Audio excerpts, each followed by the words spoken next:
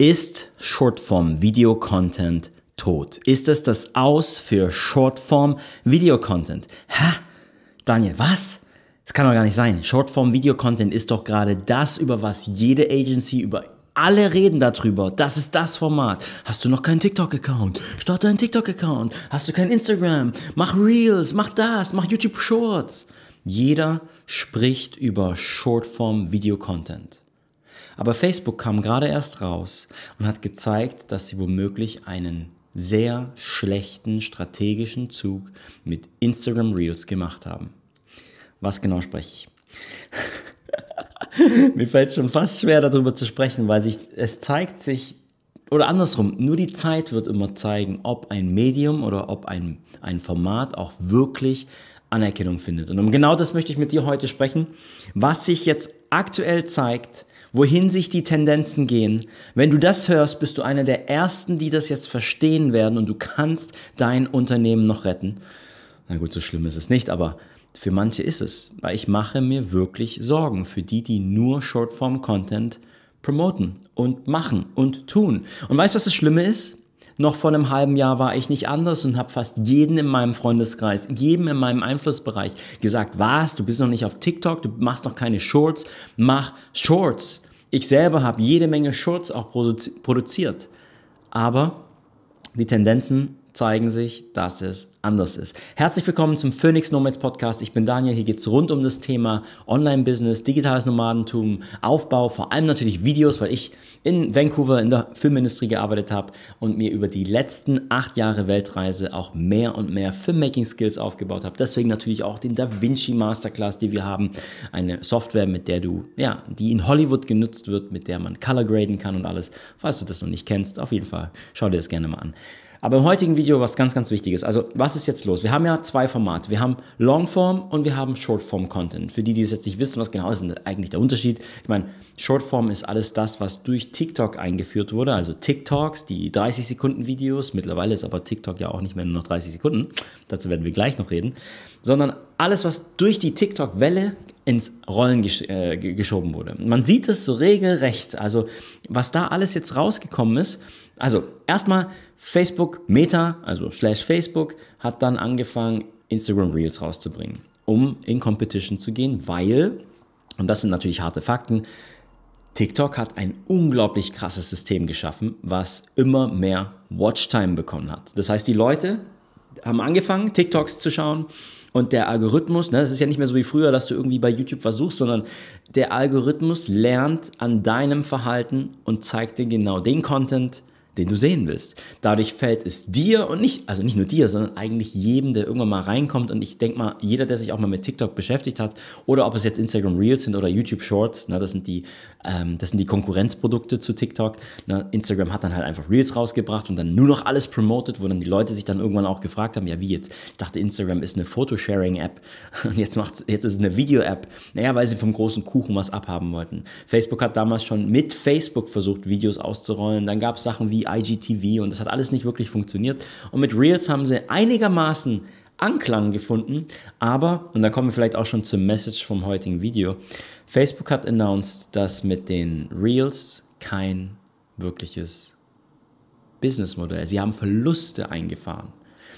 Das heißt, und, und darüber möchte ich mit dir heute auch sprechen, weil Shorts, ja, die Leute gucken es an, aber der Viewer, der das anschaut, der swiped einfach weiter. Der findet was cool, der subscribt, aber dann, dann swiped er weiter. Der ist in einem ein Loop drin, 10 Sekunden das, 10 Sekunden das, 10 Sekunden das, 10 Sekunden das, 10 Sekunden das.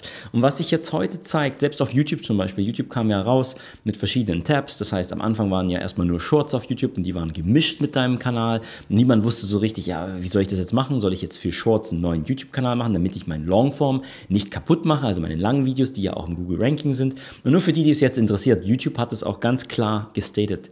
Es gibt zwei Algorithmen Es gibt einen Algorithmus für die Shorts. Es gibt einen anderen Algorithmus für Longform und, für Search. Weil, falls du ja weißt, YouTube kannst du ja auch Sachen suchen. Und das ist dann zum Beispiel die Evergreen-Strategie. Also Evergreen-Strategy, die ich auch nutze in meinem Business. Jetzt zum Beispiel mit DaVinci. Ich platziere Videos zu Suchanfragen, wo die Leute was wissen wollen. Keine Ahnung. Wenn sie wissen wollen, wie color grade ich, wie den Hollywood-Film, dann können sie es eintippen und ein Video von mir kommt hoch. Ne? Oder wie macht man das und das? Du verstehst schon. Das sind Suchanfragen, how to und so weiter.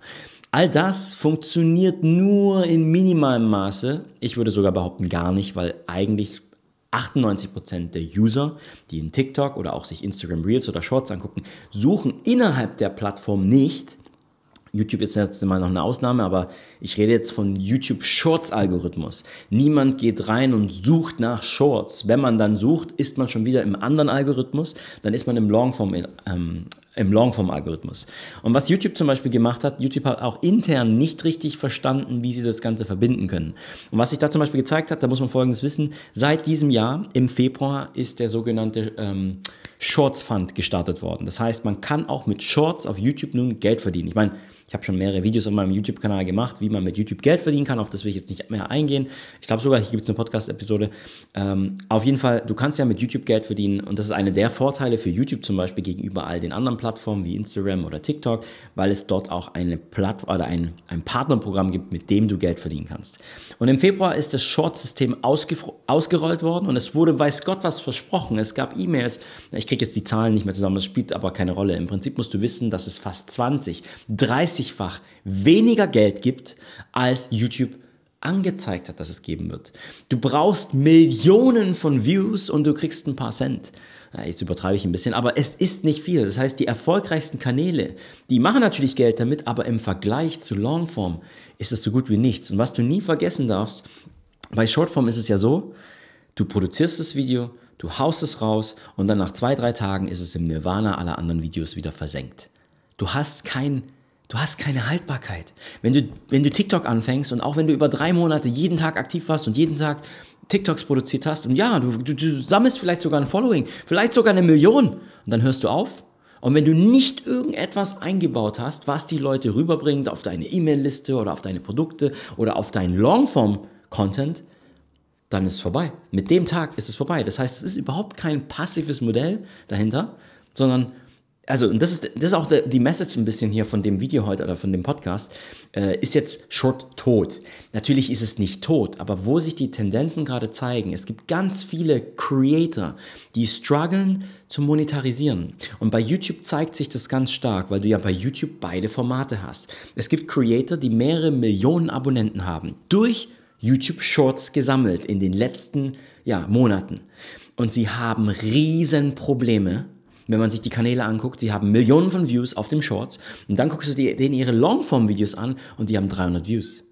Sie schaffen es nicht, die Short-Viewer rüberzubringen auf Longform. Und das ist ein Riesenproblem, weil du kein Geld machst im Shortform. Sowohl YouTube macht kein Geld, deswegen konnten sie jetzt auch nicht so viel auszahlen. Sowohl Facebook macht kein Geld. Und das ist, wo sich die lange Tendenz in dieser, an diesem Medium hinzeigen wird. Wenn die Firmen, na, du darfst nie vergessen, Meta, TikTok, die müssen irgendwie damit Geld verdienen. Und wenn sie merken, dass sie damit kein Geld verdienen, was glaubst du? Und jetzt kommen wir zurück TikTok. TikTok hat mittlerweile 10 Minuten Upload, was du machen kannst. TikTok versucht ein Stück von dem Kuchen von Longform abzugreifen, weil mit Longform kannst du kannst du Trust aufbauen, kriegst loyale Fans. Wenn du Longform hast, dann ist auch in den Community Tab wirklich da passiert mehr in den Comments. Du hast regelmäßig Leute, die zurückkehren und du hast Consumer, Viewer, die kommen und dann auch deine Produkte kaufen. Das heißt auch für uns Creator, wenn dahinter kein Monetarisierungssystem steckt, wo man auch profitabel Geld machen kann, dann werden wir Creator irgendwann keine Shorts mehr produzieren. Das ist es, was die Tendenz gerade zeigt und wo auch die Zahlen von Facebook zeigt. Facebook hat jetzt offiziell announced, also Instagram, dass sie wieder zurück zu Foto gehen werden, dass sie mehr Foto und Karussells promoten werden im Algorithmus und favoren werden über Instagram Reels. Dass sie viel zu viel Geld in Instagram Reels reingesteckt haben und das sich nicht in einem Return of Investment zeigt. Und das ist nicht nur Instagram, das ist genau das, was auch die, die großen YouTuber oder Ich habe letztens mal so eine Show gesehen. Ich, ich weiß jetzt leider nicht mehr, wer das war. Das war bei irgendeinem Podcaster. Der hat irgendwie 50 TikTok-Famous People eingeladen. Also, famous war in seiner Definition Leute, die alle über 2, 3, 4, 5 Millionen Abonnenten, Subscriber gesammelt haben auf TikTok und 0 Euro damit machen. Und sie waren mal für eine gewisse Zeit erfolgreich auf der Plattform und dann sind sie im Nirvana versunken. Und kaum einer, der damals Subscribe gedrückt hat, schaut sich heute noch Videos von denen an. So schnell, das ist so wirklich wie, ich will nicht das Wort One-Hit-Wonder nehmen, weil du kennst vielleicht diesen Satz, uh, One-Hit-Wonder, 10 Years in Making. Und seitdem denke ich über das Wort anders nach, weil da steckt ein bisschen Wahrheit hinter. Das ist wie mit jedem Business. Wir sehen oft immer nur den Erfolg von Leuten und wir sehen nicht den Grind dahinter, wie lange Leute dafür gearbeitet haben, wie viele Business, wie viele Fehlversuche eigentlich stattgefunden haben. Ich meine, bei einem Musiker ist das immer ganz klar. Wir hören immer nur, ah ja, One-Hit-Wonder, der hat es, den einen Song gemacht und er ist sofort erfolgreich gewesen. Naja, aber Vielleicht war er zehn Jahre lang äh, Starving Artist und hat jeden Tag gepracticed. Ne? Die Story von den Beatles zum Beispiel. Die Beatles haben in, in Hamburg in der, ähm, oh, wie heißt denn diese Meile nochmal? Ich habe den Namen vergessen, scheiße. Reeperbahn? Weiß nicht mehr. Auf jeden Fall da, die haben, bevor sie erfolgreich geworden sind, über zwei Jahre einen Contract gehabt mit einer der Bars in der Reeperbahn Korrigiere mich, wenn das falsch ist. Vielleicht, vielleicht äh, habe ich mir das gerade falsch aus. Also die Story stimmt, die Namen sind vielleicht manchmal falsch, die ich in meinem Kopf noch habe. Aber sie waren in Hamburg, haben in einer der Bars in einem, die ganze Nacht durchgespielt und sieben Tage die Woche. Sie hatten einen Contract dafür, haben nicht viel Geld dafür bekommen, aber was das die gebracht hat oder denen gebracht hat, und ich habe das übrigens aus dem Buch Outliers von ähm, oh, Malcolm Gladwell, genau. Malcolm Gladwell, Outliers. Ich kann das Buch nur empfehlen, weil in dem Buch zeigt er auch so ein bisschen noch die Hintergründe, die zu Erfolg führen. Nicht nur das harte Arbeiten, sondern auch die richtige Position. Also es sind viele, viele interessante Fakten. Ich könnte eine Podcast-Folge nur über das machen, was er in seinem Buch äh, so erzählt hat. Aus dem Buch kommt zum Beispiel dieses äh, berühmte Zitat mit die 10.000 Stunden Regel dass du quasi ungefähr 10.000 Stunden in deinen Craft, ob das jetzt YouTube-Videos, äh, Blogging, keine Ahnung, in dein Craft, dein, dein Sport, dein Training, wenn du 10.000 Stunden reingesteckt hast, dann wirst du zum Pro. Und dann wirst du so gut, dass du dann eigentlich auch alles, was du mal als Talent hattest, was dir vielleicht einen Vorsprung gebracht hat, übersteigst. Und dann wirst du erfolgreich, weil du diese 10.000 Stunden reingesteckt hast. Und bei den Beatles war es wirklich so, dass sie noch bevor sie Welterfolg hatten, haben sie in diesen zwei Jahren die 10.000 Stunden Bühnenerfahrung zusammenbekommen, weil sie dort in Hamburg die ganze Zeit gespielt haben. Das ist, was viele nicht wissen. Viele sehen immer dann nur so, ja, die Beatles sind dann durchgestartet, welterfolgreichste Band in den 70ern und wo das damals war, war sogar 60er, scheiße, siehst du das wieder mit meinen Daten, kannst ja in den Kommentaren, äh, falls du es auf YouTube guckst, sagen, wann genau das nochmal war, der Erfolgsspanne von den Beatles, aber das war das Interessante, während andere Bands ihre Bühnenerfahrung erst gesammelt haben, wo sie schon dann Erfolg hatten und dann getourt haben, haben die Beatles auf einem anderen Level sind sie eingestiegen. Sie hatten ihre 10.000 Stunden schon und deswegen waren die Shows, die sie gemacht haben, auf einem anderen Level. Sorry für die Side Note, aber vielleicht eine coole Story. So, was bedeutet das jetzt für dich, wenn du das weißt mit Shorts? So, kann man jede Menge Leute erreichen mit Shorts? Ja. Aber auch wenn du zum Beispiel jetzt eine YouTube-Strategie hast, musst du dir echt überlegen, wie bekommst du die Leute von Shorts auf dein YouTube-Videos rüber? Nicht jedes Format ist gleich schlecht betroffen bei dem. Zum Beispiel, wenn wir jetzt so Leute angucken wie Joe Rogan Podcast. Es gibt sehr gute Podcasts, die das super integrieren. Also zum Beispiel ein keine Ahnung, einen, einen, sehr interessanten Interviewpartner haben. Na, gerade im englischen Bereich ist es zum Beispiel Jordan Peterson. Der ganze YouTube ist voll mit Jordan Peterson. Wenn du einmal anfängst, Jordan Peterson zu googeln und Videos zu bekommen, dann kriegst du so viel vorgeschlagen, suggested und so weiter. Und was zum Beispiel Joe Rogan richtig gut macht, wenn er Gäste wie Jordan Peterson hat, dann schneiden sie kleine Snippets raus, 30 Sekunden, 60 Sekunden. Und wenn er was Interessantes, was Charismatisches sagt, dann leitet es oder verleitet es die Leute, ey, scheißegal, aus welchem Interview war denn das? Und dann gehen die Leute auch rüber und hören sich das komplette Interview an. Das heißt, bei Podcasts ist es eine sehr gute Symbiose, wenn du auf deinem Kanal also Podcasts hast und dann Shorts aus den Interviewpartnern nimmst, aus den Sätzen, die interessant waren, und dann kannst du eine Symbiose machen. Aber bei vielen, bei sehr, sehr vielen Businessmodellen, und das ist nämlich die Kunst, die wir jetzt als Unternehmer nämlich auch machen dürfen. Wir müssen die Brücke schaffen zwischen Shorts zu unserem Longform, weil dein Geld, dein Business wird nur wachsen mit Longform. Und falls du gerade zuhörst und du hast nur Instagram und TikTok und sowas gemacht und hast YouTube und Longform noch nie in Erwägung also äh, Erwägung ge gezogen. Dann kann ich dir an der Stelle nur sagen, mach es. Wirklich, mach es. Geh auf Longform. Ich sage nicht, dass du dich komplett drauf stürzen sollst und nur Longform machen sollst. Ich sage auch nicht, dass das das bessere Modell ist. Ah, doch, eigentlich ich glaube, ich nehme einen Stand, weil in meiner Geschichte, zum Beispiel auch mein Kanada-Blog, bei dem ich jetzt schon seit über einem Jahr nichts mehr gearbeitet habe, trotzdem kommen die Einnahmen jeden Monat rein. Einmal natürlich, weil ich ein komplett passives System aufgebaut habe, aber das Zweite ist, dass vieles der Traffic-Sourcen, die ich erzeugt habe, sind YouTube-Videos gewesen, die dann eingebettet sind. Das ist also einmal der Blog, der Traffic bringt, und aber natürlich auch das YouTube-Video. Übrigens, Blog ist genau das gleiche. Auch ein Blog ist in Longform, wenn du einen Blogartikel schreibst, was gefunden werden kann in der Suchmaschine. Ne? Also, wenn du in einer Nische drin bist, kann ich dir nur diese zwei Sachen wirklich empfehlen. Wenn du Videos machen willst, fang an, auf YouTube Longform-Video zu produzieren. Sieh das Ganze wie so dein eigenes Netflix. Vielleicht kannst du dir ein Beispiel nehmen von äh, hier meiner Freundin Susi, den Mindset-Kanal, den sie jetzt aufbaut. Ja, das dauert Zeit, bis sowas wächst. Aber wenn du die passenden Videos getroffen hast, die dann irgendwann im Algorithmus dir stetig neue Follower bringen und vor allem Longform-Follower. Longform, ne, also ganz simpel. Dasselbe mit Podcast ja auch wenn du einen Short anguckst und es ist 15 Sekunden, dann kannst du vielleicht irgendeine Punchline rüberbringen. Du lernst aber nichts. Du weißt vielleicht noch, oh ja, ja, das war der Prank Guy. Aber wer war das wirklich? Welche Stories hat er erzählt? Welcher Mensch war das? Während bei Longform, da ist natürlich Podcast mit das Allerbeste, weil du kannst kleine Stories, wie das mit in Hamburg, was ich von Beatles gemacht habe, kannst du unterbringen oder deine eigenen Stories unterbringen. Und im Longform-Video ist natürlich das Gleiche. Du kannst mehr von deiner eigenen Story unterbringen und die Leute fangen an, eine Beziehung zu dir aufzubauen. Sie verstehen dich besser, sie, sie lernen mehr von dir. Und dadurch, diese Beziehung führt letztendlich ja auch, weil Business ist nicht anderes. Du hast es bestimmt schon mal gehört. Wir machen Business nicht mit namenlosen Geschäften, sondern wir machen Business mit Menschen.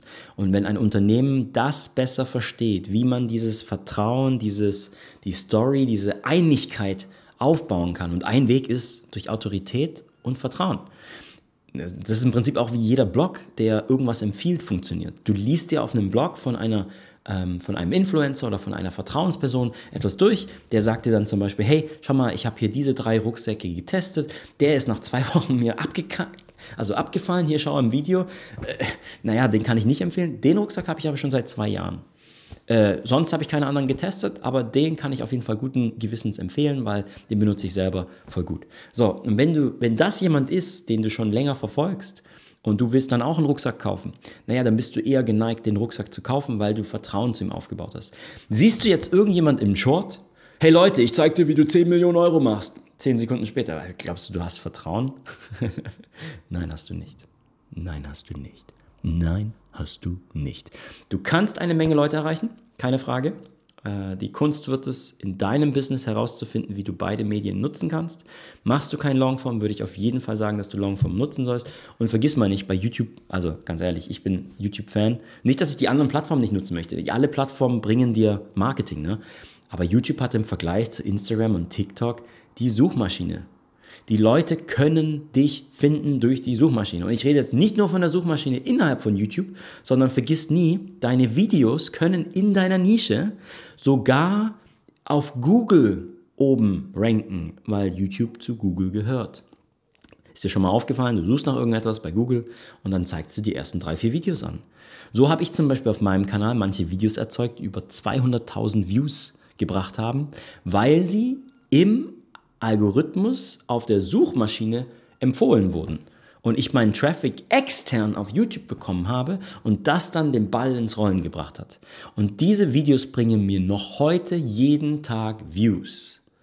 Und das ist die Power von Longform. Und es gibt noch so viele mehr. Ich möchte jetzt gar, es soll gar kein Video über Longform sein, sondern das ist die wichtigste Erkenntnis. Ich glaube, viel mehr brauche ich jetzt gar nicht reden. Wir sind schon bei 18 Minuten. Wenn du Fragen hast, stell mir gerne Fragen auf, entweder hier direkt bei YouTube unten in den Kommentaren. Du kannst aber auch gerne rübergehen zu uns bei ähm, Instagram, also at Phoenix Nomates, das englische Wort, also die sprechen das aus Phoenix, Phoenix Nomates, aber wir lieben den Satz Phoenix Nomates oder die Aussprache Phoenix Nomates.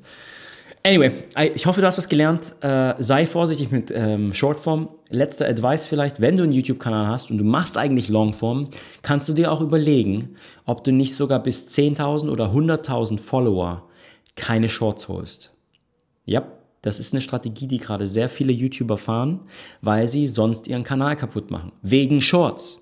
Weil es bringt dir nichts, wenn du eine Million Abonnenten sammelst und dann im gleichen Boot bist mit, ja, ich habe eine Million Abonnenten auf YouTube, aber keiner kauft meine Produkte. keiner schaut sich meine Longform an. Und das Wichtige bei Longform ist, und deswegen dauert es so lange bei YouTube auch, ist, du brauchst ein Initial, ähm, eine Initialmasse. Kommst du mit einer neuen Episode raus, wenn du irgendwann ein Following hast von Leuten, die dir vertrauen, und das ist Long Game, okay, das ist nichts, was du in den nächsten zwei Wochen aufbaust. Aber dein Business, wenn du wirklich, wenn du es wirklich ernst meinst mit deinem Business, dann wirst du es ja auch über die nächsten, sagen wir, zehn Jahre aufbauen. Dann sieh den YouTube-Kanal auch wirklich so, dass du den über die nächsten zehn Jahre aufbaust. Ich sage auch nicht, dass du jeden Tag Videos machen musst. Such dir ein Format raus, was du auf YouTube produzieren kannst. Zum Beispiel einmal im Monat. Hey, Vergleich das mal. Einmal im Monat bedeutet, du machst im Jahr zwölf Longform-Videos. Wenn diese zwölf im Algorithmus ranken, dann hast du nach drei Jahren bereits 36 Videos, die ranken, während deine Competition nur Shorts produziert hat, vielleicht sogar mehr Follower hatte, aber wie du gerade durch diesen Podcast weißt, Probleme hat, Geld zu verdienen und nach drei Jahren aufhört und exhausted ist und Burnout hat, weil sie so viel produziert haben, aber nichts oder fast nichts drumherum kam und du eine Maschine gebaut hast, die dir kontinuierlich neue Kunden bringt. Damit beende ich den Podcast heute hier. Ich hoffe, du hast was gelernt. Sei auf der Hut. Shortform. Du wirst es sehen. Wird noch komplett fallen. Ich bin Daniel. Wir sehen uns nächste Woche wieder in der nächsten Episode von Phoenix Nomads. Und ansonsten viel Spaß. Ich wünsche dir eine wunderschöne Woche. Mach's gut. Wir hören uns. Wir sehen uns. Mach's gut. Ciao.